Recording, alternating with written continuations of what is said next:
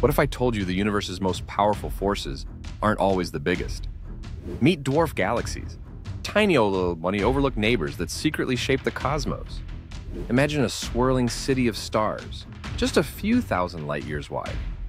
Some are smaller than 1,000 light years across, barely a speck compared to giants like the Milky Way, which stretches over 100,000 light years.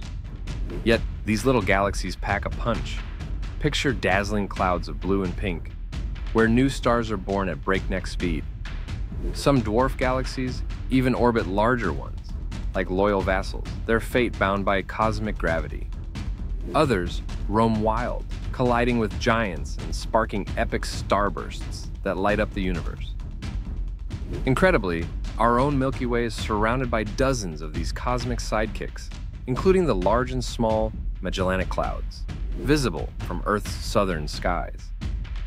Here's the real mystery. Scientists believe that without dwarf galaxies, massive galaxies, and maybe even life itself might never have formed. So, are these tiny galaxies the true architects of the cosmos? Want to make your own fascinating videos for fun or profit?